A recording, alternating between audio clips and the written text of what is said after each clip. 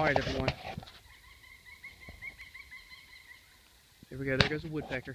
It is exactly 7:28 on Easter, and I came down here into the woods. I can't find any turkeys, and I have been walking non-stop for about three and a half, four hours trying to find a shed or anything.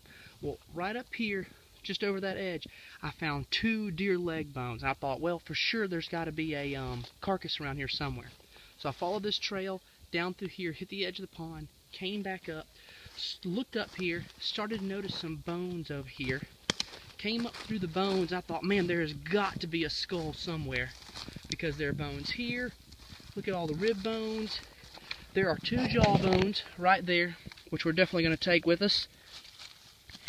I looked this way, it looked like it, the whatever was eating it drug it this way. You can see there's another leg bone. Then there's a, shoulder bone right there. So I scanned the area, couldn't see anything, and like an idiot, I looked back up the hill, and he is laying right here. Here's another rib bone.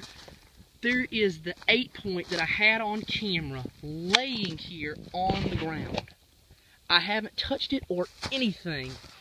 It hasn't been eaten on by any of the squirrels. It looks like the rack is in excellent condition. And I was just down in here, you know, not that long ago hunting turkeys right here, but I never came this deep down. Oh, let's pick it up. I'm gonna lay my shotgun down. Oh, yes. Oh, yeah. Look at that. Nice solid eight point for this neck of the woods down here. All they had was cotton eat this year.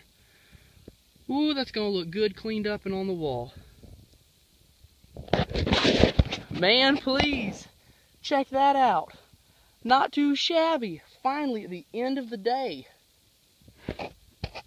All right. Whew. Well, listen, maybe that's not an arrowhead, but I hope you guys enjoyed that. That's going to be the best thing I find this year. Hope you didn't get shot. Maybe you just died of old age or got bit by something. All right, thanks so much for watching. Y'all have a great one. Weston out.